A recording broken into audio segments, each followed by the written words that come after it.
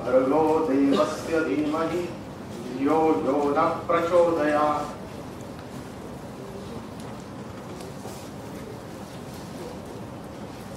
तुझबिन जीना मरण की भांति। तुझ पे मरना पावन का। तुझ बिन जीना मरण की भांति तुझ पे मरना पावन काम। देश मेरे मैं रहू ना रहू पर। रहे निरंतर तेरा नाम, भारत रहे निरंतर तेरा नाम।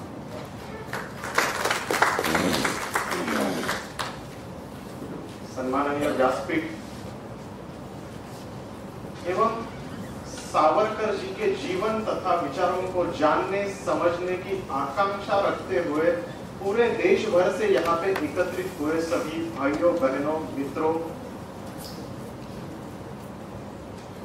मेरा जो ये सेशन है, मैं मानता हूँ सबसे लकी वाला सेशन है।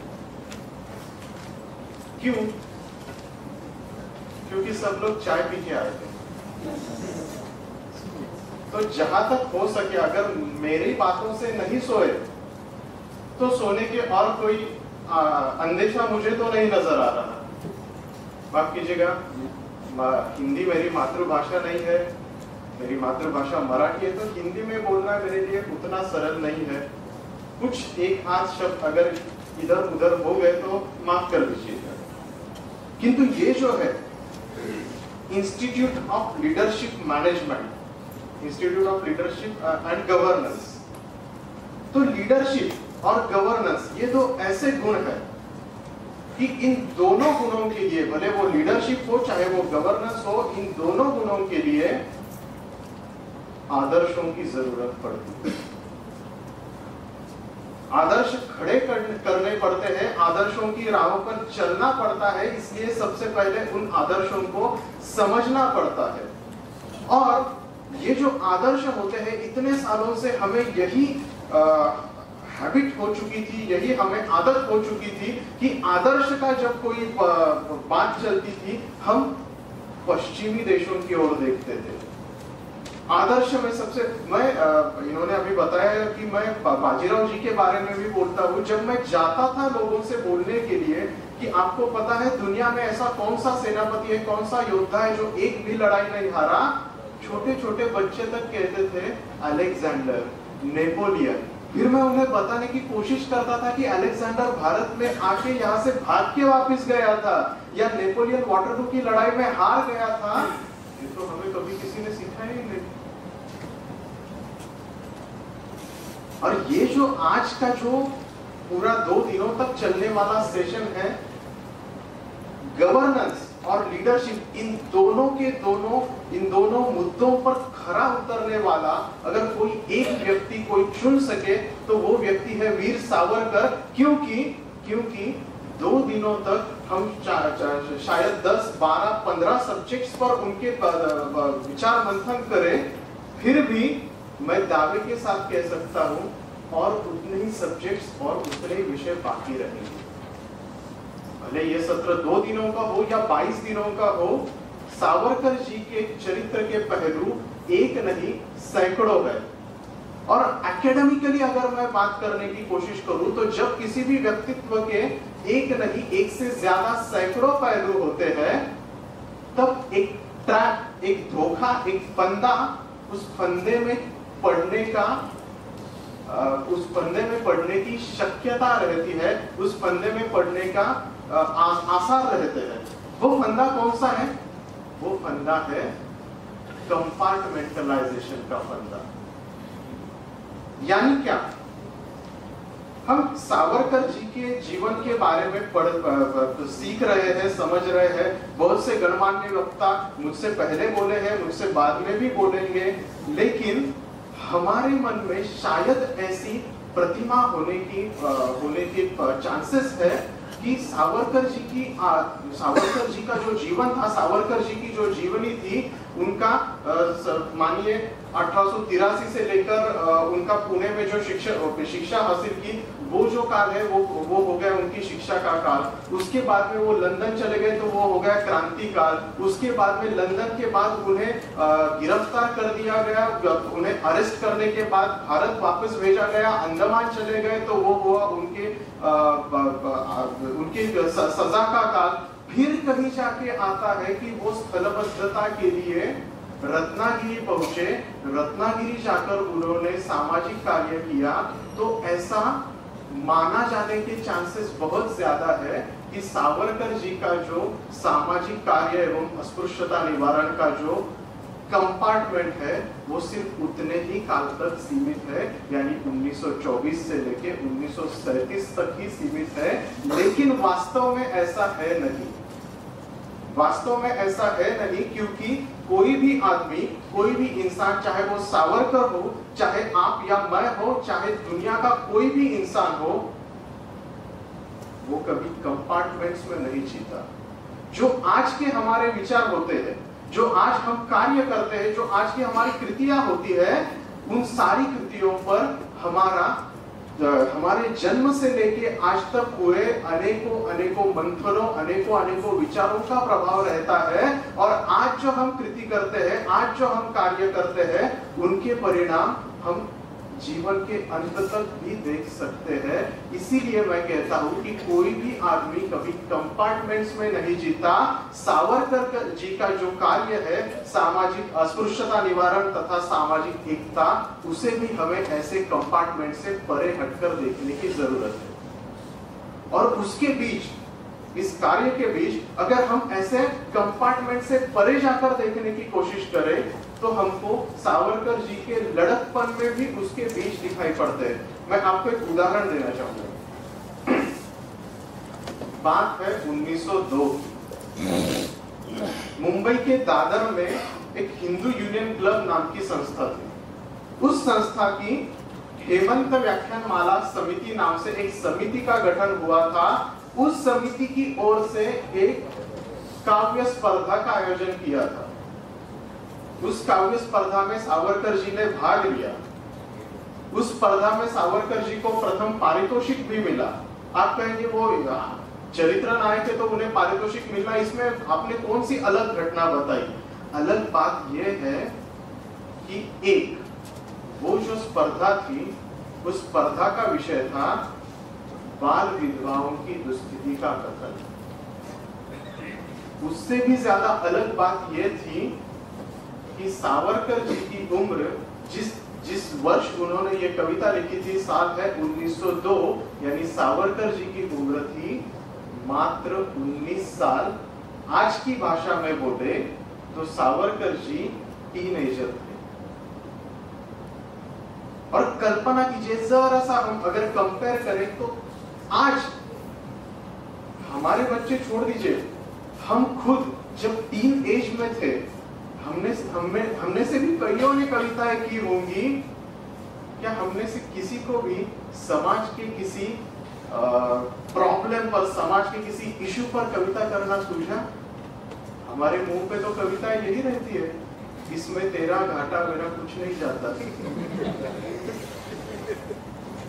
या सुन रही है ना तू रो रहा हूँ मैं। इससे आगे हम जाके देख नहीं सकते। सावरकर जी आदर्श इसलिए बनते हैं क्योंकि उस तीन एज में भी उनके मन में बाल विधवाओं की दुस्थिति के प्रति एक संवेदनशील भाव था। और वो संवेदनशील भाव क्यों था, कैसे था, मैं आपको बताता हूँ। जिस कविता को पारितोषिक मिला था, सावरकर जी की जिस कविता को पारितोषिक मिला था, वो कविता एक नहीं दो नहीं, दस या बीस भी नहीं 102 छंदों की कविता है, यानी 204 लाइनों की कविता है।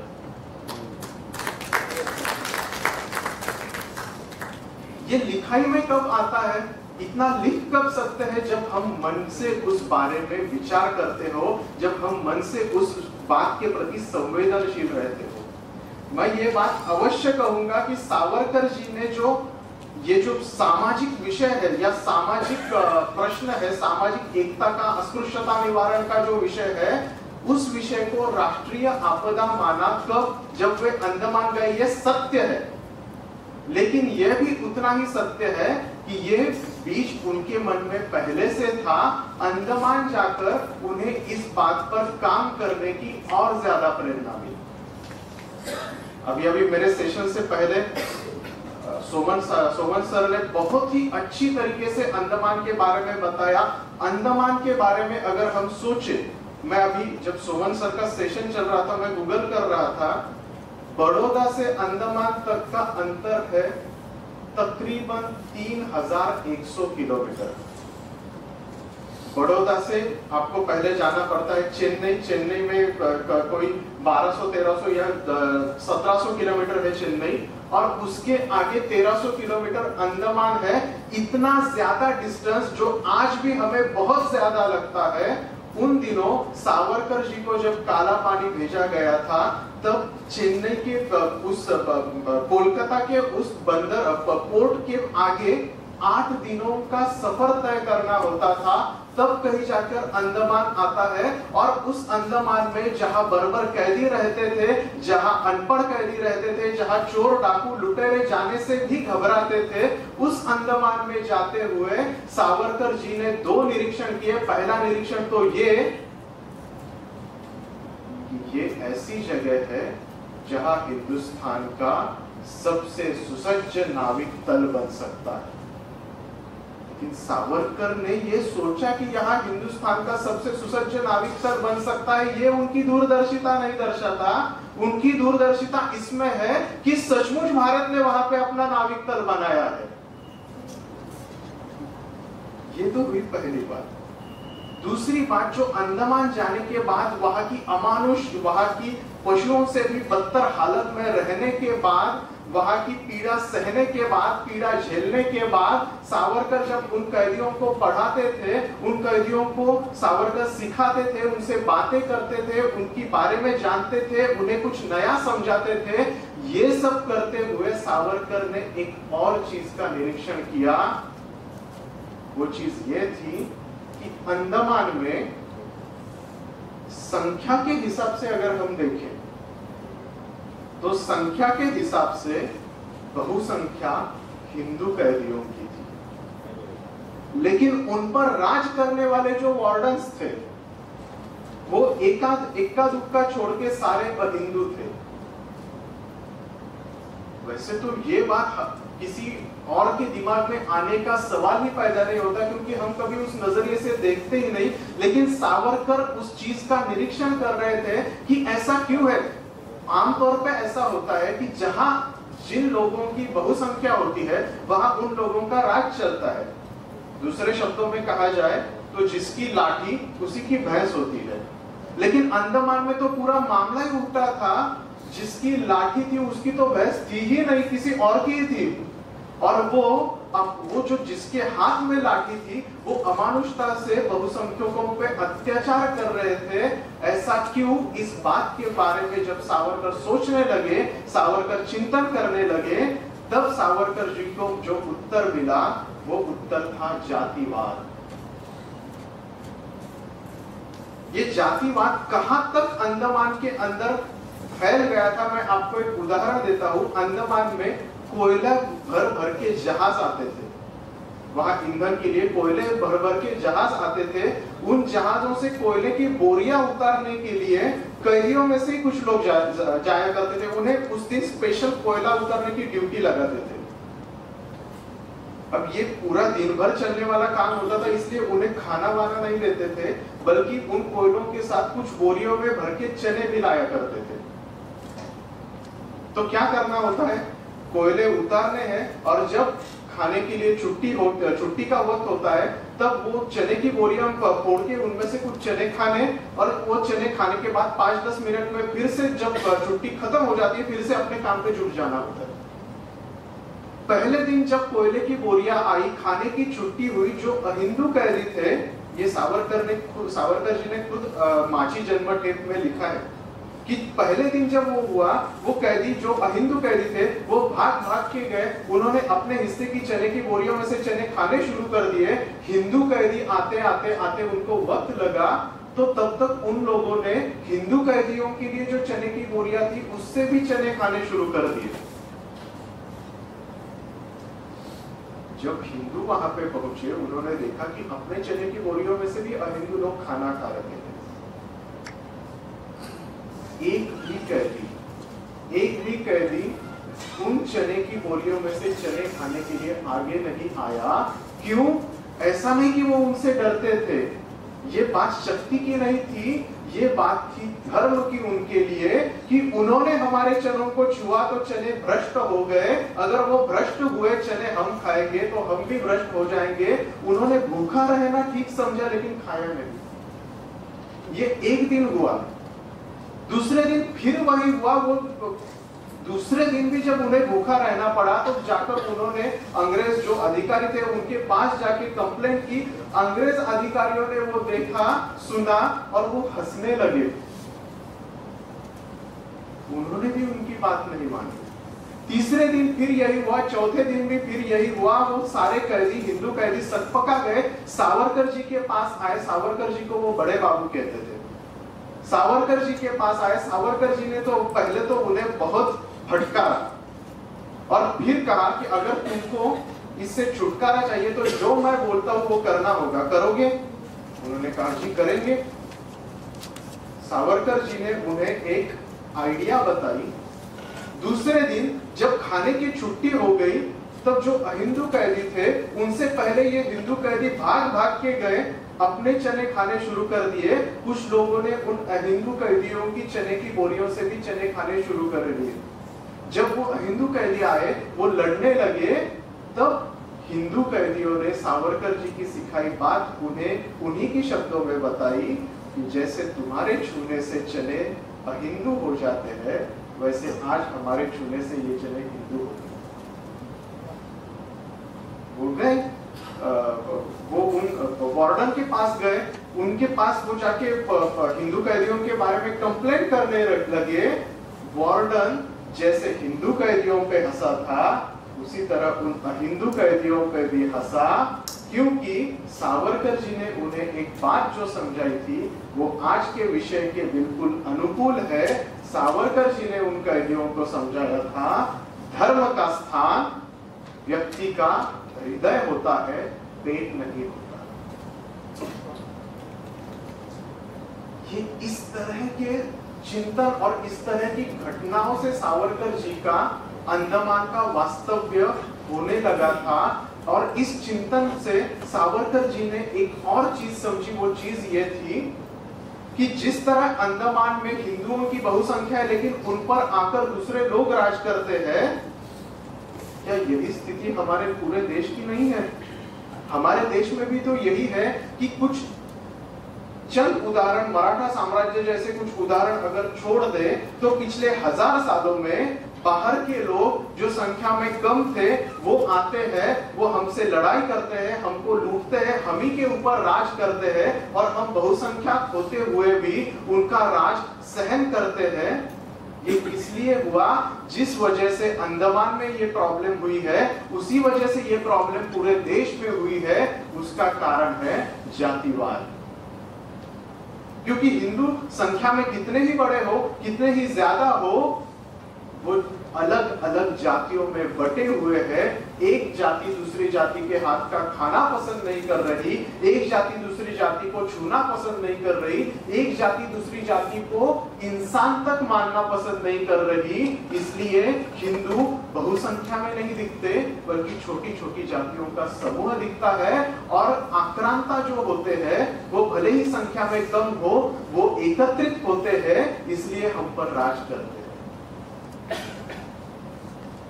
सावरकर जी ने ये समझा और तब उसके ऊपर सावरकर जी ने जो अप्रोच लिया, वो बहुत ही साइंटिफिक है। साइंटिफिक मैं इसलिए कहता हूँ कि सावरकर जी ने इस विषय पे जो काम किया है, वो बहुत ही स्टेप बाय स्टेप किया है। पहली स्टेप ये है कि प्रॉब्लम क्या है? उसके भी पहले ये जो रोग, जातिवाद का रोग जिसको लगा है वो पेशेंट है कौन? ये सावरकर जी ने समझने की कोशिश की।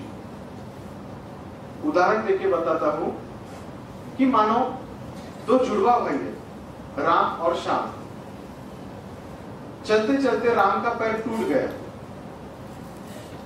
तो डॉक्टर ने बोला कि तुम्हारे पैर पर प्लास्टर लगवाना पड़ेगा, हड्डी तुम्हारी ठीक तरह से बिठानी पड़ेगी।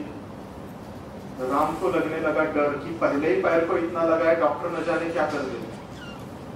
तो जब डॉक्टर के पास गए, तब राम ने शाम के कान में धीरे से फुसफुसाया है हम दोनों दिखते तो एक ही जैसे है। मेरा पैर क्या, तुम्हारा पैर क्या?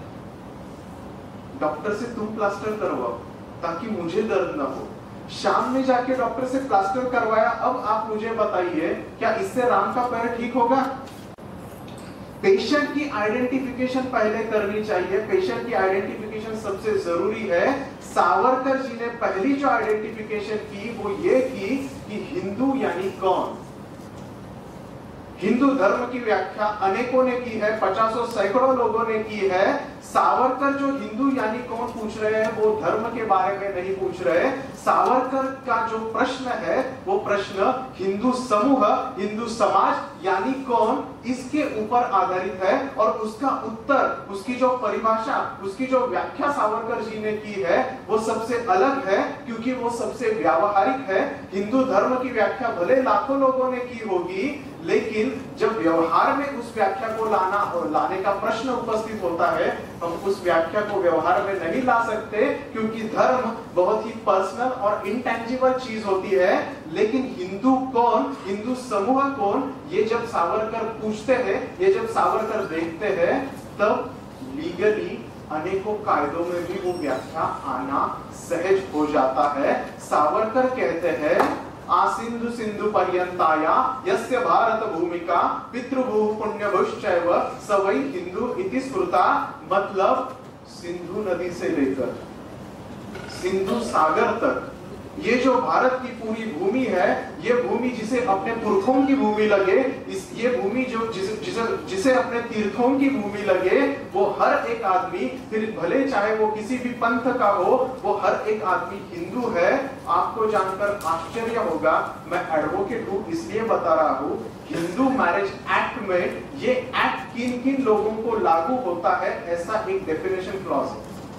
उन डेफिनेशन क्लॉज में लिखा है कि ये मैरिज एक्ट हर उस व्यक्ति को लागू होता है जो क्रिश्चियन नहीं है, जो मुस्लिम नहीं है, जो जू नहीं है, जो बाहर से आए अन्य किसी धर्मों के नहीं है, दूसरे हिसाब से देखा जाए तो ये एक्ट उन लोगों को लागू होता है जो सावरकर जी की की गई हिंदुत्व की व्याख्या में आते हैं। ये सावरकर जी की दूरदर्शिता है। अब ये तो हो गया हिंदू कौन इसका आइडेंटिफिकेशन लेकिन हिंदुओं को बीमारी है क्या? हम एक वाक्य में इसका उत्तर दे सकते हैं कि हिंदुओं को जो बीमारी है, वो जातिवाद की बीमारी है। लेकिन जातिवाद का मतलब क्या है? ये आज तक तो किसी ने डिफाइन नहीं किया था कि जातिवाद है मतलब क्या है? जातिवाद मतलब ये किसी को छूना नहीं किसी के साथ मिलकर खाना खाना नहीं, वो सब तो ठीक है, लेकिन ये है क्या? इसके ऊपर किसी ने मूलगामी स्तर से काम ही नहीं किया था, सावरकर जी ने पहली बार जातिवाद क्या है, इसके ऊपर काम किया और सावरकर जी ने इस जातिवाद की समस्या को सात भिन्न अंगों में विभाजित किया। सावरकर जी उन समस्या को कहते हैं, उनके ही शब्दों में कहा जाए तो सात स्वदेशी बेड़िया या सात स्वदेशी श्रृंखलाएँ। कौन कौन सी श्रृंखलाएँ? क्रमांक एक स्पर्श बंदी एक जाति अपने से दूसरी जाति के लोगों को स्पर्श करना भी पाप मानती है यह है स्पर्श बंदी की बेटी दूसरी रोटी बंदी एक साथ खाना नहीं खाना। तीसरी है बेटी बंदी बेटी बंदी मतलब एक दूसरे की जाति में बेटी नहीं ब्याहना। चौथी है व्यवसाय बंदी कि जिस जाति को जो व्यवसाय निहित किया हुआ है, उससे अलग कोई व्यवसाय नहीं करना। पांचवी जो है, वो है सिंधु बंदी सिंधु बंदी मतलब अगर कोई समुद्र लांग के किसी दूसरे देश में जाए तो आने के बाद समुद्र लांगने का पाप करने के लिए उसे प्रायश्चित लेना पड़ता है, वरना उसे धर्म भ्रष्ट कहा जाता है। यह है सिंधु बंदी पांचवी। छठी जो है वो है वेदोक्त बंदी मतलब वेदों के अनुसार कार्य कर, वेदों के अनुसार कर्म कांड करने का अधिकार केवल कुछ जातियों तक ही सीमित है बाकियों को वो अधिकार नहीं। इसे कहते हैं वेदोक्त बंदी और सातवीं जो बंदी है सातवीं जो श्रृंखला है वो है शुद्धि बंदी एक आदमी अगर किसी कारणवश धर्म छोड़ के चला गया वो चाहे कुछ भी हो जाए उसे फिर से धर्म में नहीं लेना। ये जो कुप्रथा थी, इसे सावरकर कहते थे शुद्धि बंदी। देखिए किस बारीकी से सावरकर जी ने प्रॉब्लम आइडेंटिफिकेशन किया। और ये जो मैं इतनी देर से बता रहा हूँ, दूसरे शब्दों में कहा जाए तो ये तो हो गई थियोरी आप लोग जो जो स्कूल, कॉलेज में जाते हैं, जिनको याद है, उनको याद होगा थियोरी के पूरे मार्क्स नहीं मिलते प्रैक्टिकल भी करना पड़ता है। तो थियोरी तो पूरी पक्की हो गई थी अब प्रैक्टिकल करने की ज़रूरत आन पड़ी थी। प्रैक्टिकल करने का अवसर सावरकर जी को मिला रत्नागिरी में। रत्नागिरी के कारावास में रत्नागिरी के स्थलबद्धता के काल में सावरकर जी जब रत्नागिरी में 1924 से लेकर 1937 साल तक स्थलबद्ध थे उनके ऊपर कई तरह की पाबंदियाँ लगी थी। उनमें से एक पाबंदी ये भी थी कि आप किसी भी तरह से राजकारण में या किसी भी तरह से राजनीति में हिस्सा नहीं ले सकते। उस काल का सावरकर जी ने उपयोग किया अपनी थियोरी का प्रैक्टिकल करने के लिए। देखिए, मैं जो बात कर रहा हूँ, वो आज से सौ साल पहले की बात है। सौ साल पहले का महाराष्ट्र का एक छोटा सा कस्बा रत्नागिरी, जो सौ साल पहले रूढ़ी प्रियता से भरा था, सनातनियों से भरा था, उस सनातनियों से भरे ज़िले में सावरकर जी उन्हीं के विपरीत, उन्हीं के विरुद्ध जाकर जातिवाद को नष्ट करने की बात कर रहे थे। एक तरफ़ तो सदियों से चली आ रही रूढ़ीवाद है जो सदियों से सैकड़ों सालों से चली आ रही है और सारे के सारे लोग उसे मानते हैं। दूसरी तरफ़ एक ऐसा इंसान है जो इंसान आज से 10-12 साल पहले तक कैद खाने में रहा है, जिसे लोगों से घुलने मिलने की आदत पूरी छूट चुकी है।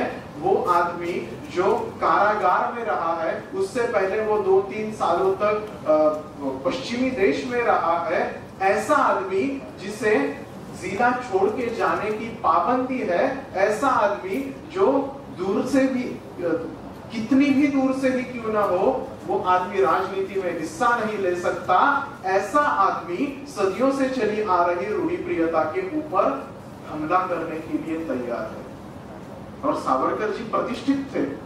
सावरकर जी को लोग मानते थे, सावरकर जी को लोग सुनना चाहते थे, सावरकर जी को लोग अनेकों कार्यक्रमों में बुलाते थे। कभी कोई व्यक्तिगत कार्यक्रम रहता था, कभी कोई सामाजिक कार्यक्रम रहता था। सावरकर जी हर जगह पे जाते और जाकर जब उन्हें भाषण करने को कहा जाता, तब सावरकर जी जातिवाद की समस्या के ऊपर बोलने लगते। पहले तो कोई सुनता भी नहीं था। क्यों सुने? कि जो हमने सदियों तक किया है, जिसके बारे में हमने कभी सोचा भी नहीं। वो अगर कोई हमें बता रहा है, हम क्यों मान ले, लेकिन फिर भी सावरकर जी ने बोलना नहीं छोड़ा। ये तो हुआ एक मोर्चा। दूसरा मोर्चा सावरकर जी ने खोला, वो ये कि सावरकर जी ने अनेकों नियतकालिकों में लेख और निबंध लिखने की, एक पूरी की पूरी श्रृंखला ही शुरू की, और उन सारे के सारे लेखों का, निबंधों का विषय यही था कि जातिवाद से समाज का किस तरह से नुकसान होता है? सावरकर जी का मानना बहुत ही सरल था कि आज अंग्रेज़ हम पे हुकूमत कर रहे हैं। कल परसों वो चले भी जाएँगे, लेकिन अगर वो चले भी गए तो क्या फ़र्क पड़ता है? अगर हम एक दूसरे के भीतर बटे रहे, हम जातिवाद के भीतर बटे रहे तो आज अंग्रेज़ चले गए, परसों चाइना आ जाएगा, परसों रशिया आ जाएगा या कोई और आ जाएगा, हम पर हज़ारों सालों से आक्रमण का सिलसिला चल रहा है। अगर कल अंग्रेज़ चले भी गए, हमको स्वतंत्रता मिल भी गई तो भी उस स्वतंत्रता का हम लाभ नहीं ले पाएँगे, क्योंकि हम आपस में एकत्र नहीं है, इसलिए हम स्वतंत्र नहीं ये सावरकर जी अपने लेखों में लिखने लगे, अपने भाषणों में बताने लगे, और तीसरा जो मोर्चा सावरकर जी ने खोला, वो बहुत ही उस उन दिनों में बहुत ही क्रांतिकारी तरह का था। मैं क्रांतिकारी इसलिए कहता हूँ क्योंकि वो जो मोर्चा था, वो उसके परिणाम हम अलग तरह से आज देख रहे हैं। मेरी अभी कुछ देर पहले योगेश जी से बात हो रही थी। वो कह रहे थे कि फ़िल्मों में जो वामपंथी विचार सरणी है, जो वामपंथी विचारधारा है, उस विचारधारा ने फ़िल्मों में बड़ी ही बारीकी से अपनी अपनी विचारधारा फ़िल्मों में बोई और उसके आज उसके पेड़ निकल आया है। इसलिए आज इतना बड़ा संघर्ष फ़िल्म के फ़िल्मों के मैदान में दिखाई पड़ रहा है। सावरकर जी ने किसी भी वामपंथी के दिमाग में ये बात आने से पूर्व ये बात की थी कि जातिवाद को अगर नष्ट करना है तो जातिवाद कितना बड़ा भस्मासुर है, कितना बड़ा असुर है, ये बात पॉपुलर मीडिया तक ले जानी चाहिए थी और सावरकर जी ने वही किया। उन दिनों पॉपुलर मीडिया क्या था? नाटक थे। सावरकर जी ने जातिवाद के इशू के ऊपर नाटक लिखे। सावरकर जी ने कथाएँ लिखी। सावरकर जी ने सैकड़ों कविताएँ लिखी। सावरकर जी ने उसके ऊपर उपन्यास भी लिखे। जितने हो सके उतने मनोरंजन के माध्यम से सावरकर जी जातिवाद की इस इस जातिवाद के संकट के बारे में लोगों को बता रहे थे। सावरकर जी लोगों को उजागर जागृत करने का प्रयत्न कर रहे थे। इसका सिर्फ़ एक ही हश्र हुआ कि कुछ लोग, कि चलो वो अगर बोलते हैं तो सही बोलते होंगे, ऐसा करके मानने लगे। कि हाँ इतना बड़ा आदमी कह रहा है तो गलत थोड़ी होगा। ऐसा करके धीरे धीरे धीरे धीरे लोग मानने लगे, लेकिन सावरकर जी जानते थे कि लोग जिस तरह से मान रहे हैं, वो मानना टेम्पररी है। टेम्पररी इसलिए क्योंकि आज सुबह से हम सावरकर जी के बारे में सुनते, समझते, जानते आए हैं। अभी एक बीच में एक सत्र में हम लोगों ने बड़ी गर्म जोशी के साथ चर्चा भी की कि हम सावरकर जी के बारे में क्या और कैसे कर सकते हैं। लेकिन मैं आपको बताता हूँ, शायद कड़वा लगे इस मंच से, लेकिन सत्य बताना कर्तव्य है। आज से दो तीन दिनों के बाद जब हम अपने अपने घर चले जाएँगे, जब हम अपने अपनी रोज़मर्रा की ज़िंदगी में बिज़ी हो जाएँगे, तब ये जो आज की जो गर्म जोशी है, वो दिल में कहीं ना कहीं जागरूक तो रहेगी, लेकिन हम में से कोई भी उसके ऊपर काम नहीं करेगा। या शायद इक्का दुक्का लोग ही काम करें। ये एक मॉब साइकोलॉजी है। ये लोगों की साइकोलॉजी है कि एक साथ जब आते हैं, तब उन्हें एक विषय योग्य लगता है, लेकिन जब वो बढ़ जाते हैं अपनी अपनी ज़िंदगी में चले जाते हैं, तब वही विषय उन्हें सेकेंडरी लगने लगता है। ये बात सावरकर भी जानते थे कि मैं इतने लेख लिखता हूँ, मैं इतने भाषण देता हूँ, मैं इतने तरह से बोलता हूँ, समझाता हूँ। लोगों को वो अच्छा भी लगने लगा है, लोग वो मानने भी लगे हैं लेकिन इसका मतलब ये नहीं कि लोग उसके ऊपर अमल भी करने लगेंगे अगर अमल करना है तो प्रैक्टिकलिटी के एक स्टेप और आगे जाना होगा। ऐसी कोई चीज़ ढूंढ के निकालनी होगी जो सारे लोगों को एक साथ जोड़ती है, जिस पर अगर काम करे तो लोग खुद ब खुद आगे आकर काम करने को तैयार हो सकते हैं। और सावरकर जी ने विचार मंथन के बाद वो चीज़ ढूंढ निकाली। वो चीज़ थी हर किसी हिंदू की आस्था का विषय यानी मंदिर। मंदिरों के ऊपर प्रॉब्लम होना आज की बात नहीं है। ये कई सालों से चला आ रहा है। सावरकर जी ने लोगों की इसी आस्था का एक अच्छे कार्य में सदुपयोग करने की सोची और वो ये थी कि आ, मुझे दुर्भाग्यवश वडोदरा का तो पता नहीं लेकिन हमारे महाराष्ट्र में एक जो सबसे बड़ा त्योहार होता है, सबसे बड़ा उत्सव होता है, वो होता है गणेशोत्सव गणेश जी का। लोग डेढ़ दिन, पाँच दिन, सात दिन या कहीं कहीं दस दिनों के लिए भी गणेश जी को अपने घर में स्थापित करते हैं और घर ही क्या लोग सार्वजनिक रूप से मंडल लगा के, पंडाल लगा के उन्हें स्थापित करते हैं, जिसे हमारे मराठी में मंडल कहा जाता है। और इस गणेशोत्सव के रूप में सैकड़ों लोग एकत्रित आते हैं, सैकड़ों लोग अनेक प्रकार के कार्यक्रम करते हैं, समाज का इकट्ठा होना इस उत्सव से होता है। ये गणेशोत्सव का स्वरूप भी उन दिनों अलग था। भले गणेशोत्सव सार्वजनिक था, वो सावरकर जी के पहले से ही था, लेकिन उस सार्वजनिक होने में भी एक प्रॉब्लम ये थी कि जो पंडाल लगते थे, वो अलग अलग जातियों के लगते थे। उन्नीस की बात है। उन्नीस की सितंबर में रत्नागिरी के रत्नागिरी में प्लेग प्लेग का प्रादुर्भाव हुआ था। इसलिए सावरकर जी स्पेशल परमिशन निकालकर नासिक चले गए थे। नासिक में उन दिनों गणेशोत्सव चल रहा था।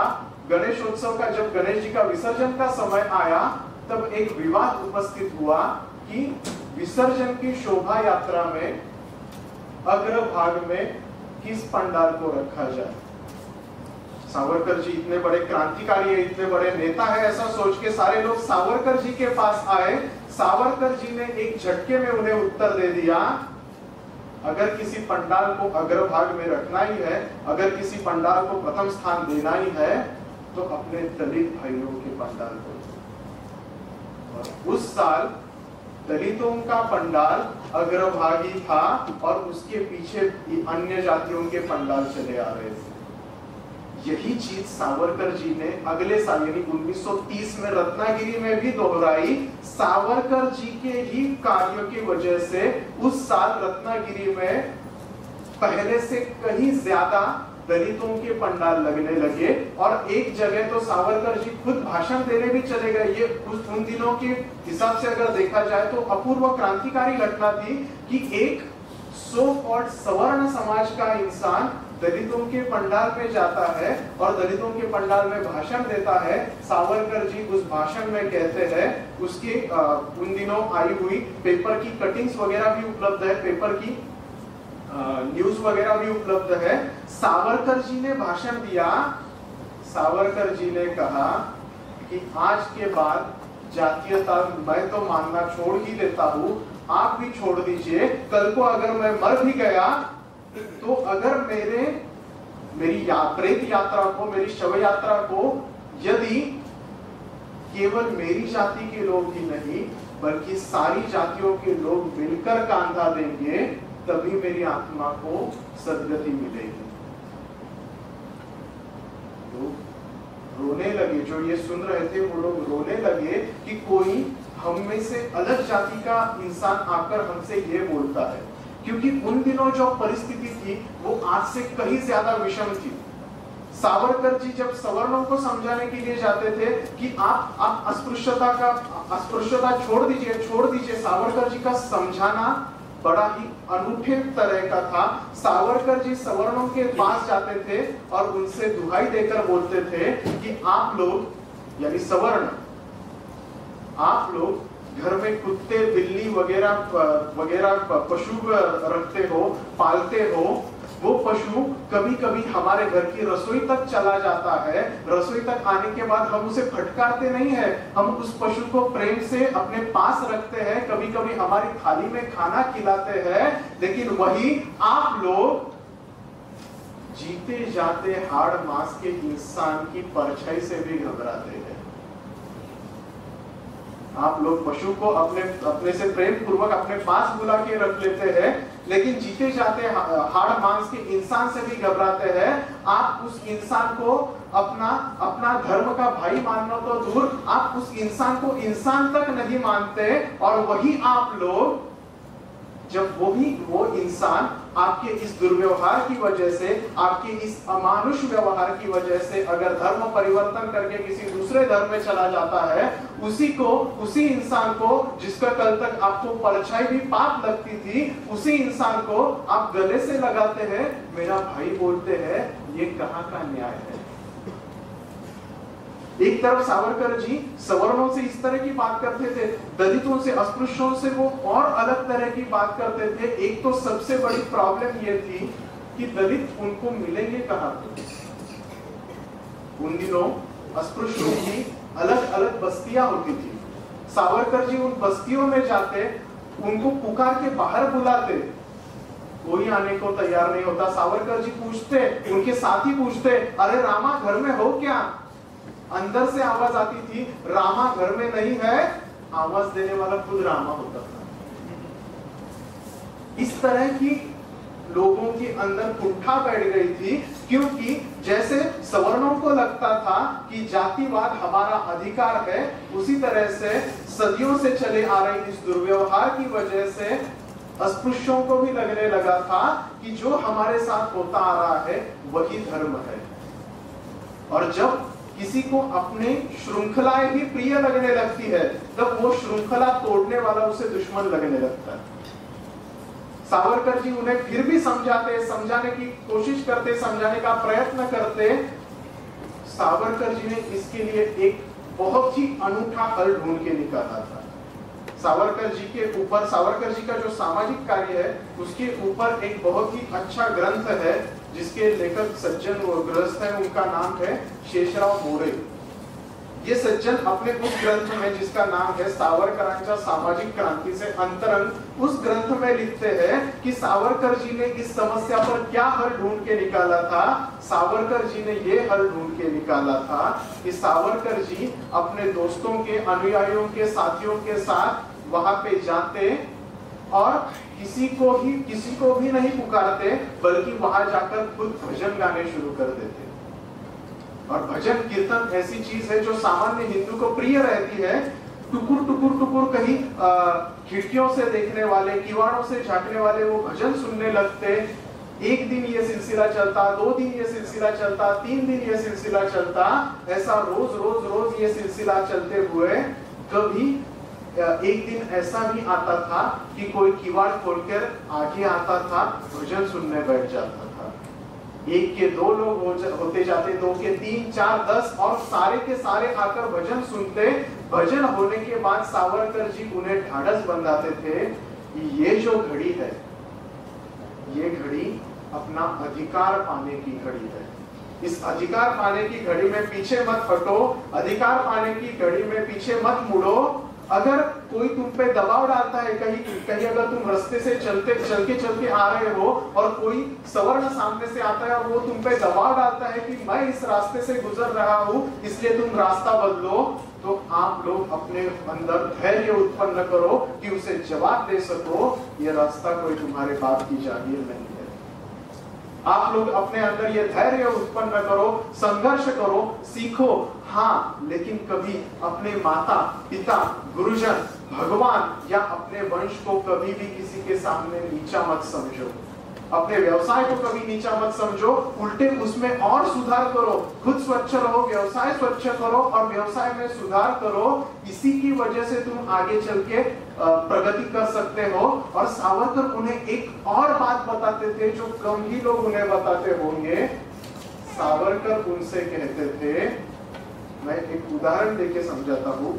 एक दिन सावरकर जी को एक सज्जन ने, जो खुद अस्पृश्य समाज से थे उन सज्जन ने सावरकर जी को बुलाया कि मेरे यहाँ मैंने पूजा रखी है।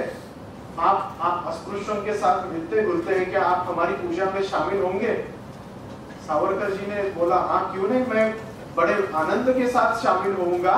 लेकिन सावरकर जी ने शर्त रखी, मैं शामिल होऊँगा, लेकिन मेरे साथ मैं इन दो लोगों को भी लाऊँगा। उन दो लोगों के नाम सुनकर वो जो सज्जन थे वो, अचानक से सत पका गए। नहीं नहीं उन्हें कैसे ला सकते हो? सावरकर जी ने पूछा क्यों क्यों नहीं ला सकता? वो आदमी थोड़ा हिचकिचा के बोला नहीं वो हमसे भी निचली जात के है ना? सावरकर जी ने उन्हें जो उत्तर दिया वही सावरकर जी सभी जातियों को समझाते थे कि अपने से ऊँची जात के लोगों ने आपके साथ ऐसा दुर्व्यवहार नहीं करना चाहिए, ऐसा अगर तुम मानते हो तो अपने से सो कॉल्ड निचली जाति के लोगों के साथ तुम भी तो व्यवसाय वैसा व्यवहार मत करो। इस सावरकर जी बड़ी प्रैक्टिकलिटी से बताते थे। और इसी जो सावरकर जी की प्रैक्टिकलिटी थी, इसी प्रैक्टिकलिटी की वजह से यह हुआ कि धीरे धीरे गणेशोत्सव में दलितों का, अस्पृश्यों का एकत्रित आना बढ़ता गया। अब बारी थी उससे भी अगली स्टेप लेने की। और वो अगली स्टेप लेने का अवसर उन्हें एक कार्यक्रम में मिला। कार्यक्रम ऐसा था कि एक सज्जन थे, उनका नाम था महादेव लक्ष्मण गुरव। ये जो महादेव लक्ष्मण गुरव थे, इन्होंने अपनी बस्ती में एक हनुमान जी का मंदिर बनाया हुआ था। उस मंदिर में हनुमान जी की प्राण प्रतिष्ठापना करने के लिए, उस कार्यक्रम के लिए वे सावरकर जी को आमंत्रित करने के लिए आए थे। सावरकर जी, एक एक बात यहाँ पे बतानी बहुत ज़रूरी है कि देखिए, वो जो महादेव लक्ष्मण गुरु है, वे सावरकर जी को एक मंदिर में मूर्ति की प्रतिष्ठापना के कार्यक्रम के लिए आमंत्रित कर रहे थे। और सावरकर जी का चरित्र अगर हम बारकाई से देखे, पढ़े, सोचे, समझे तो सावरकर जी किसी भी तरह के कर्म कांड के बिल्कुल विरुद्ध थे। तो सावरकर जी को क्या करना चाहिए था? जाना चाहिए था या नहीं जाना चाहिए था? देखिए, आजकल के अगर कोई बुद्धिजीवी होते तो वो उस महादेव लक्ष्मण गुरु को ही समझाते, ये क्या हनुमान वगैरह तुम लगा के रखा है? ये ऐसा कोई होता नहीं, भगवान होते ही नहीं, मैं तो मानता ही नहीं, मैं तो इन सब में विश्वास ही नहीं रखता, तुम भी मत करो, मैं खुद नहीं आऊँगा और तुमको भी नहीं करने दूँगा। लेकिन सावरकर बुद्धिवादी थे। आजकल के तरह लिबरल नहीं हुए थे वो। इसलिए वो लोगों की श्रद्धा का आदर करना भी जानते थे। और न केवल आदर करना जानते थे, सावरकर जी उस श्रद्धा का सदुपयोग करना भी जानते थे, क्योंकि उस महादेव लक्ष्मण गुरु को सावरकर जी ने बताया कि मैं खुद तो आऊँगा, लेकिन मेरी एक शर्त है तुम्हारे मंदिर का जो प्रदक्षिणा का मार्ग होगा वो मार्ग तुम्हें दलितों के लिए खुला करना होगा। जी मान गए इतना ही नहीं कि वो, मंदिर के प्रदक्षिणा का मार्ग दलितों के लिए खुला करने के लिए तो मान गए साथ ही साथ जब मंदिर में भजन होंगे तब अस्पृश्यों को भी साथ साथ भजन में शामिल होने के लिए भी वो मान गए। और सावरकर जी उस कार्यक्रम में शामिल हुए। सावरकर जी ने वहाँ पे बहुत सुंदर भाषण भी दिया।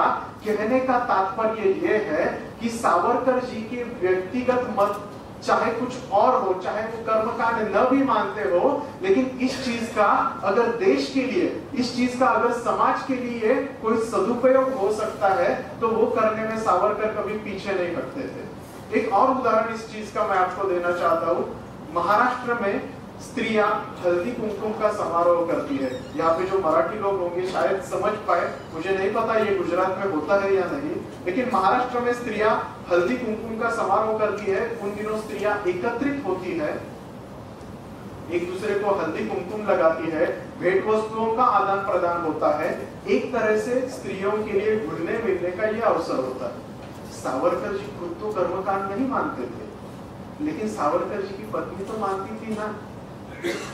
उन्होंने सावरकर जी से कहा, जब वे रत्नागिरी में ही रह रहे थे, उन्हीं दिनों की ये बात है, उन्होंने सावरकर जी से कहा कि मुझे हल्दी कुमकुम का कार्यक्रम करना है, मैं करूँ क्या? सावरकर जी ने एक झटके में हामी भर दी, चाहे उनकी व्यक्तिगत मत जो चाहे हो। सावरकर जी ने एक झटके में हामी भर दी, लेकिन उनसे कहा, तुम कार्यक्रम अवश्य करो, लेकिन कार्यक्रम में, हल्दी कुमकुम के कार्यक्रम में, अस्पृश्य स्त्रियों को भी बुलाओ। कितनी हर तरह की बारीक बारीक चीज़ों में सावरकर जी कार्य करने की और कार्य आगे लेने की संधि मौका, अवसर ढूंढते रहते थे। सावरकर जी ने जो महादेव लक्ष्मण गुरु के मामले में किया, वही बात सावरकर जी ने एक और प्रकरण में भी की है। उन सज्जन का नाम था भागोजी सेठ की ये एक बड़े ही धनवान आदमी खुद बहुत ही बड़े शिव भक्त भी थे। उन्होंने जब शिव जी के मंदिर में जाना चाहा, तब उनकी जाति, उनके आड़े आ गई उन्हें शिव जी के मंदिर में प्रवेश नहीं मिला। धनवान थे, धनी थे, इसलिए उन्होंने खुद का पर्सनल शिव मंदिर बनवा दिया सावरकर जी को बहुत मानते थे भागोजी सेठ इसलिए उन्होंने सावरकर जी को जब ये बात बताई, सावरकर जी ने उन्हें उत्तर दिया कि सेठ जी आप धनवान है, आप अमीर है, आप धनी है। इसलिए जब आपको किसी ने शिवालय में जाने नहीं दिया, आपने खुद का पर्सनल मंदिर बनवा दिया, लेकिन जरा उन लोगों के बारे में सोचे जो शिव भक्त तो है, लेकिन उनकी जाति की वजह से उन्हें शिव जी के मंदिर में भी नहीं वो जा सकते, ना खुद के पास उनके इतना पैसा है कि वो खुद के लिए मंदिर बना सकते हैं। उन लोगों के बारे में जरा सोचिए, वे लोग करें तो क्या करें? और सावरकर जी की ये बात सुन के, भागवत से कीर जी की दिमाग में एक प्रकाश कौन था? सावरकर जी की प्रेरणा से उन्होंने आगे एक मंदिर जो निर्माण किया। आप अगर कभी रत्नागिरी में गए तो रत्नागिरी में जाके देखिए, वो मंदिर है पतित पावन मंदिर। इस मंदिर का भी एक अलग ही किस्सा है। ये जो मंदिर है, सावरकर जी की इसके पीछे विचार जो थे, वो ये थे कि कोई भी व्यक्ति चाहे वो किसी भी जाति का हो, किसी भी पंथ का हो, कोई भी व्यक्ति, अगर वो उस पतित पावन की मूर्ति पे, उस धर्म पे, उस भगवान पे श्रद्धा रखने वाला हो तो उसे निरपेक्ष मन से और स्वच्छ शरीर से किसी भी जाति के व्यक्ति को उस मंदिर में आने की खुली छूट थी। ये मंदिर जब बनवा रहे थे इस मंदिर की जब प्राण प्रतिष्ठा हो रही थी भागोजी सेठ चाहते थे कि इस मंदिर की प्राण प्रतिष्ठा वेदोक्त तरह से हो, वेदोक्त तरीके से हो। सावरकर जी ने कहा, चलो ठीक है। उन्होंने काशी के ब्राह्मणों को, काशी के विद्वानों को पत्र भी लिखा कि ऐसा ऐसा हम मंदिर बना रहे हैं, उसकी हमें वेदोक्त तरीके से प्राण प्रतिष्ठा करनी है, आप लोग आइए और प्राण प्रतिष्ठा कर दीजिए। वे विद्वान वहाँ से आए। बहुत बड़ा कार्यक्रम का आयोजन भी हुआ था और वो जो काशी के पंडित थे एन मौके पर वेदोक्त तरह से प्राण प्रतिष्ठा करने के लिए मुकर गए, पलट गए। देखिए, किस तरह की ये दुविधा हो गई है कि कार्यक्रम तो है लेकिन वो वेदोक्त पद्धति से करना नहीं चाहते, वे कहते थे कि तुम्हारी जाति को वेदोक्त का अधिकार भी नहीं है। हम ज़्यादा से ज़्यादा पुराणोक्त तरीके से प्राण प्रतिष्ठा करेंगे। सावरकर जी को सारे लोग समझाने लगे, खुद भागोजी से खीर समझाने लगे, वहाँ पे कुर्तकोटी के डॉक्टर शंकराचार्य भी थे, वो भी समझाने लगे कि चलो, मुहूर्त बीता जा रहा है पुराणोक्त तो पुराणोक्त, क्या फ़र्क पड़ता है? पुराणोक्त पद्धति से ही प्राण प्रतिष्ठा होने तो कोई फ़र्क नहीं पड़ता। सावरकर जी ने सभी की बातें सुनी और वे भागोजी सेठ की तरफ़ मुड़े। उन्हें कहा कि भागोजी सेठ, मंदिर आपके पैसे से बना है, मंदिर के मालिक आप है, धनी आप है, इसलिए जो आप चाहते हैं वही होगा। लेकिन मेरे बस एक प्रश्न का उत्तर दीजिए। ये मंदिर हम सारे की सारी जनजातियों के लिए खुला कर रहे हैं। ये मंदिर हम पुरानी जो श्रृंखलाएँ है, जो पुरानी प्रथाएँ है, पुरानी रूढ़िया है, वो तोड़ने के लिए हम बना रहे हैं। मुझे एक प्रश्न का उत्तर दीजिए। अगर पुरानी प्रथा तोड़ने के लिए बनवाए हुए मंदिर में भी अगर वही पुरानी प्रथा से ही प्रतिष्ठापना करनी है तो मंदिर बनवाना ही क्यों इसके बाद उन्होंने भागोजी सेठ से आगे ये भी कहा कि आप या तो वो पुरानी प्रथा छोड़िए या मुझे छोड़ दीजिए। लेकिन अगर आप मुझे नहीं छोड़ते तो इस मंदिर की वेदोक्त तरह से कैसे प्रतिष्ठापना करवानी है, वो दायित्व मेरा। ऐसा कह के सावरकर उन विद्वानों की तरफ़ मुड़े, उनसे कहा कि मैंने आपको पत्र लिखा था। मैंने आपको पत्र लिखकर कहा था कि ऐसा ऐसा मंदिर हम बना रहे हैं, उसके पीछे हमारा ये उद्देश्य है, और हमें उस मंदिर की वेदोक्त तरीके से प्रतिष्ठापना भी करवानी है। आपने वो पत्र पढ़ा, आपने उस पत्र को मिलने के बाद ही यहाँ आना कबूल किया और आप यहाँ आके पलट रहे हैं, यहाँ आके मुकर रहे हैं। आपको क्या लगता है कि अगर आप पलट गए तो क्या हम हमारे देव हमारे भगवान की प्रतिष्ठापना नहीं कर सकते? याद रखिए, कोई आदमी एक फला फला जाति में जन्मा है, इसी वजह से वो पुरोहित बन सकता है और दूसरी कोई जाति का व्यक्ति पुरोहित नहीं बन सकता। इस इस बात में मैं यकीन नहीं रखता। अगर आप वेदोक्त पद्धति से प्रतिष्ठापना करना नहीं चाहते तो कोई बात नहीं, मत कीजिए। मैं और यहाँ पे जहाँ पे इकट्ठा हुए सारे जनजातियों के लोग हमारे अनंत हस्तों से उस मूर्ति को उठाएँगे और भगवान की जय बोल के उसकी प्रतिष्ठापना कर देंगे। वही होगा हमारा विधि। और उस प्रतिष्ठापना करते वक्त हम लोग हमारे अनंत अनंत जीवाओं से जब हिंदू धर्म की जय की जय जयकार करेंगे, जयगान गाएँगे, वही होंगे हमारे वेद घोष। और फिर भी अगर तुम्हें चाहते हैं तो आप चाहते हैं कि इसका शास्त्रार्थ क्या है तो भावो ही विद्यते देवा, ऐसा हम मानते हैं। वही होंगे हमारे शास्त्रार्थ। आपको नहीं करनी है प्रतिष्ठापना, मत कीजिए।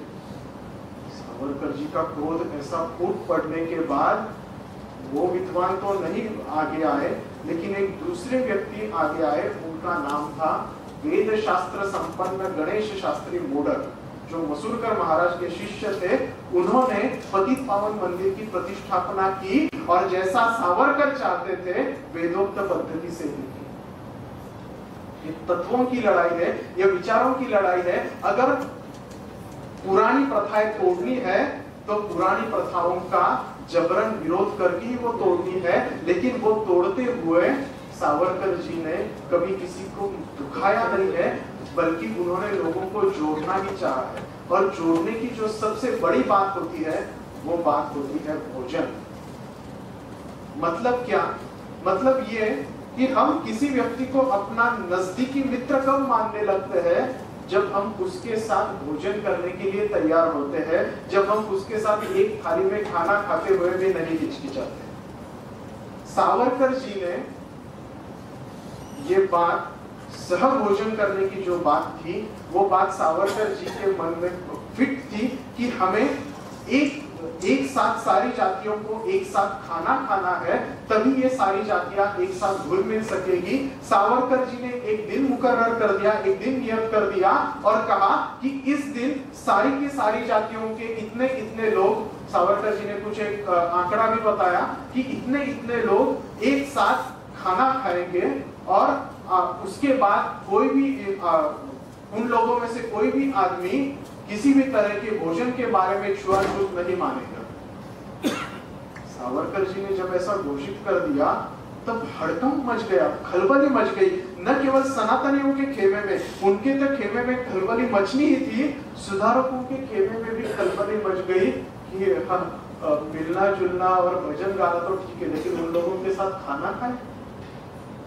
हाँ सुधारकों को भी ऐसे ही लगता था कुछ कुछ मामलों में। आपको जान के आश्चर्य होगा, मैंने कहा ना कि सावरकर जी जाते थे अस्पृश्यों की बस्ती में, भजन गाते थे, उनके साथ उनके साथी गाते थे।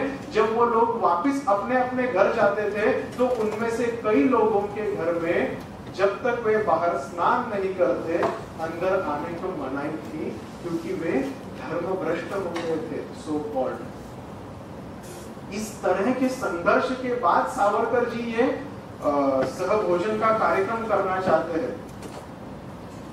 सावरकर जी ने एक दिन नियत किया। उस दिन में आ, इस इस जगह पे सहभोजन होगा ऐसा भी उन्होंने कह दिया लेकिन प्रॉब्लम तब हुई जब उस सहभोजन के लिए कोई जगह ही नहीं मिल रही थी। ऐन मौके पर लोगों ने मना कर दिया नहीं नहीं हमारे घर में मत रखो। ये ऐसी पापी भ्रष्टता की बातें हमें नहीं चाहिए। एक से पूछा, दूसरे से पूछा, तीसरे से पूछा, कोई भी करने को तैयार नहीं था, तब कहीं जाके एक रत्नागिरी में एक गली में एक नाट्य गृह है, उसका नाम है खातू बंधुओं का नाट्य गृह जिसे कहते हैं झापा से नाट्य गृह वो नाट्य गृह उन्होंने लिया, उस नाट्य गृह में भोजन की व्यवस्था की गई, चलो जगह तो मिल गई, खाना कौन पकाएगा? रसोईया भी नहीं मिल रहा था। जैसे तैसे खाना भी पकाने लगे।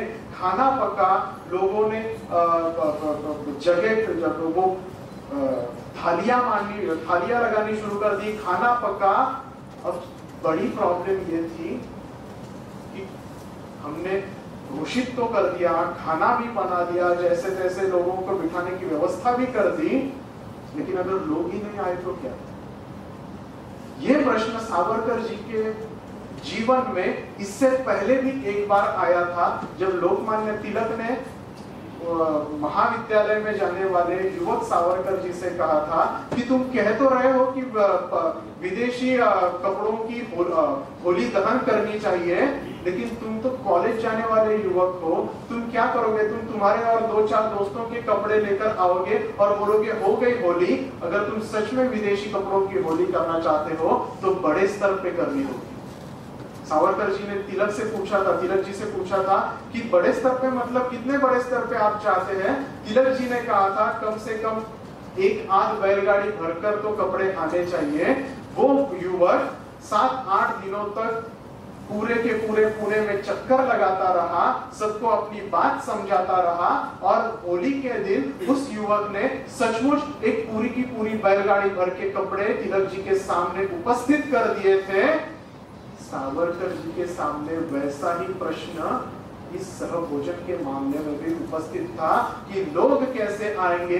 लेकिन सावरकर जी के प्रचार जब 22 साल की उम्र में जो उन्होंने किया था, उसी तरह का प्रचार, उसी तरह का चक्रवाती प्रचार सावरकर जी ने उससे दुगनी उम्र में भी किया।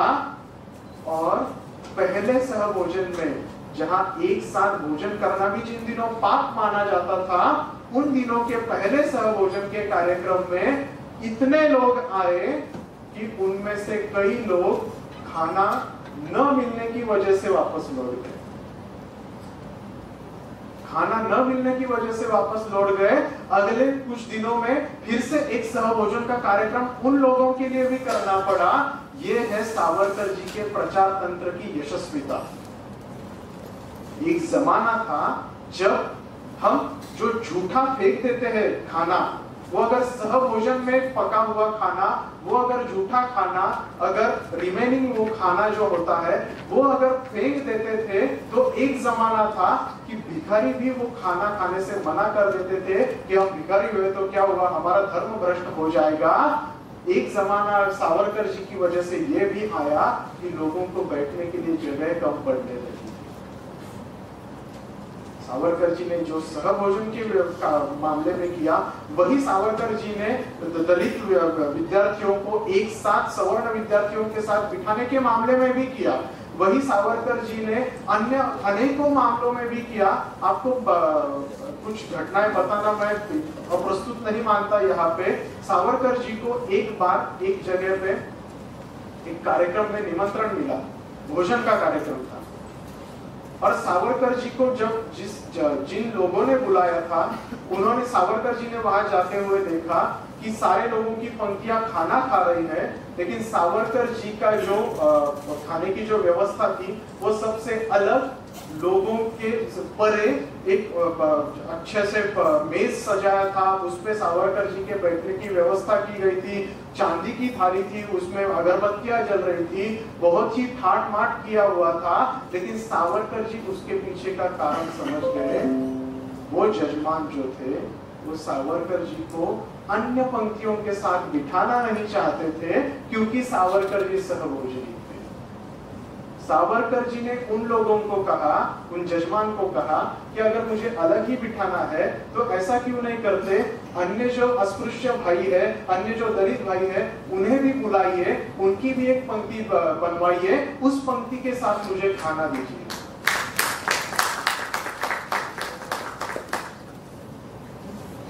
किस तरह का त्याग है, आप सोचिए कि सह भोजन होने के बाद जो थालियाँ जो झूठी थालियाँ होती है, वो थालियाँ उठाने तक को कोई आगे नहीं आता था, ऐसा भी एक जमाना था। और वो थालियाँ उठाने के लिए जब कोई आगे नहीं आता था, तब ये लंदन में पढ़ा लिखा बैरिस्टर जो चाहता था, जो चाहता तो लाखों रुपए कमा सकता था, जो चाहता तो सोने की सेज में सो सकता था, वो बैरिस्टर आगे आता था और लोगों की झूठी तालियाँ उठाता था। इस तरह के संघर्ष से सावरकर जी ने सामाजिक एकता करी है। और ये बात हमेशा से आसान नहीं रही। कई कई बार संघर्ष का भी प्रश्न आया। एक महाशय कहने लगे कि सहभोजन कौन करता है? सहभोजन करने से, यानी एक दूसरे के मुँह में थूकने से क्या प्रेम बढ़ता है क्या? इस तरह का घिनौना प्रश्न जब आया, तब सावरकर जी ने उतने ही तपाक से उन्हें उत्तर भी दिया था आप लोग जब ब्राह्मण भोज कराते हैं तो क्या एक दूसरे के मुँह में थूकते हैं? एक एक प्रॉब्लम तो बहुत ही अटपटा सा आ गया सावरकर जी के एक सहकारी थे, उनका नाम था लिमय सरनेम था उनका लिमय इन लिमय जी की बेटी का ब्याह होने वाला था। बेटी के होने वाले ससुराल वालों को जब पता चला कि ये जो लिमय जी है, ये सावरकर जी के साथ काम करते हैं, दलितों के लिए काम करते हैं, सहभोजन करते हैं तब उन्होंने विवाह करने से मना कर दिया। लोग उन्हें समझाने के लिए गए तो उन्होंने कहा कि विवाह सिर्फ़ एक ही शर्त पे हो सकता है। कौन सी शर्त? वो ये कि लिमेल जी को सहभोजन करने के लिए प्रायश्चित लेना होगा। लिमेल जी सहभोजन के लिए प्रायश्चित लेने के लिए बिल्कुल भी तैयार नहीं थे। सावरकर जी के पास जब मामला आया, तब सावरकर जी उस बेटी के ससुराल वालों के साथ बोले, आपको इसीलिए प्रायश्चित चाहिए ना कि लिमेल जी दलितों के साथ खाना खाते हैं? चलिए लिमेल प्रायश्चित ले भी लेंगे, लेकिन वो प्रायश्चित सिर्फ़ विवाह होने तक ही होगा। अगर आपको मंजूर है तो विवाह कीजिए। ये सॉल्यूशन उन लोगों को अच्छा लगा। लिमे जी ने सहभोजन करने के लिए प्रायश्चित लिया। बेटी का ब्याह हुआ। लिमे जी फिर से एक बार अस्पृश्य भाइयों के साथ खाना खाने के लिए चले गए। इसे कहते हैं व्यवहारवाद। सावरकर जी तत्वनिष्ठ थे लेकिन तत्व पे तत्व के ऊपर इस तरह से भी अड़े नहीं रहते थे कि पूरा का पूरा तत्व ही नष्ट हो जाए। सावरकर जी मध्यम मार्ग ऑप्टिमिज्म निकालने की कोशिश करते थे और फिर से उस तत्व की ओर अग्रसर होने लगते थे। और कितनी चतुराई से होते थे, आपको शायद जान के आश्चर्य होगा सावरकर जी ने रत्नागिरी में दो दलित युवकों को एक होटल निकाल के दिया था। होटल उन दिनों में, और वो भी दलित युवकों का। कौन जाता था? कोई नहीं जाना होता था। लेकिन सावरकर जी ने इसके ऊपर भी उपाय ढूंढ निकाला था। सावरकर जी रोज खुद जाकर उस होटल में बैठते थे, रोज वहाँ जाकर चाय पीते थे, और जो लोग सावरकर जी से मिलने आते थे, उनमें से कई राजनीतिज्ञ होते थे, कई सामाजिक कार्यकर्ता होते थे, वो लोग उनको मन के मन के विपरीत हो या ना हो लेकिन वही होटल में आके ही सावरकर जी से मिलना पड़ता था वही होटल में खाना खाना पड़ता था उन होटल में आए हुए सवर्णों की सावरकर जी ने सूची रखनी शुरू की थी।